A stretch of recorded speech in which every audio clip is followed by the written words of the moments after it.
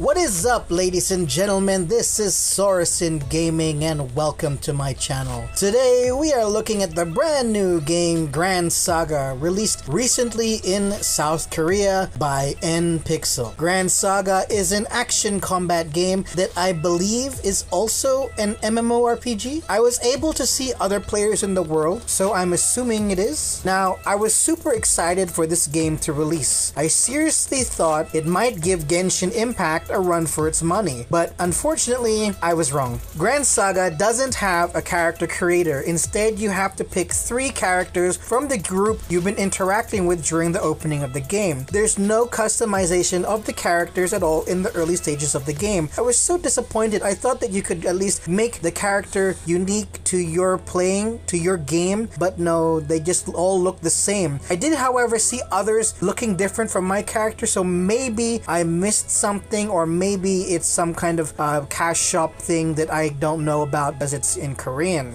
The visuals of Gran Saga are quite impressive, definitely a pleasure on the eyes. The style is anime, and at max settings, the scenery and character models do look pretty decent. The biggest disappointment in this game is that it is 100% autoplay. There's auto pathing and auto combat, so you just have to sit there and watch your characters do their thing. The only thing you need to worry about in combat is moving out of enemy attacks as well as using a skill's ultimate ability. Also, you have to keep an eye on your partner's ultimates.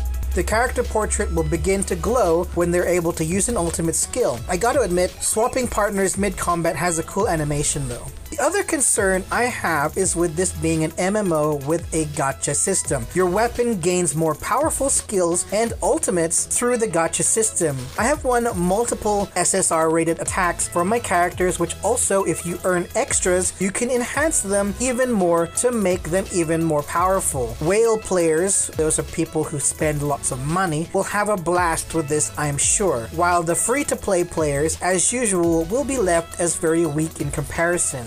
This truly is an MMORPG, it's a poor choice to have a gacha system for the weapon skills. Although the drop rate doesn't seem too bad, I do have quite a few SSR skills, so it's not all bad. It's still bad, but it's not all bad. There are plenty of cinematic story scenes to watch, with also scenes that are unskippable. As annoying as that is, they reward you with gacha gems to ease the pain. Though I'm only complaining about unskippable cutscenes because I don't understand what's going on since it's in Korean. Once Gran Saga comes to global, I'm sure I'll be a lot more invested into the story.